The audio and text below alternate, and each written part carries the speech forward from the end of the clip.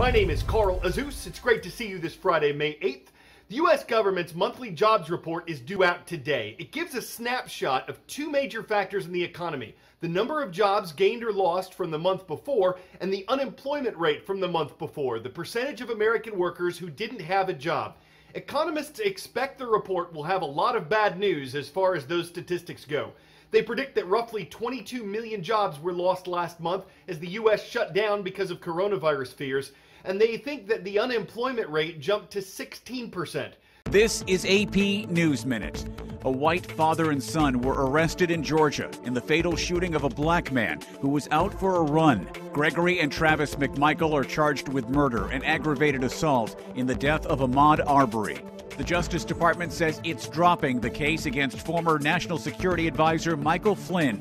He had pleaded guilty to lying to Russia probe investigators, but then asked to withdraw that plea. Firefighters say several wildfires in the Florida panhandle spread quickly because of dry weather and gusty winds. The fires have forced hundreds of people to evacuate their homes.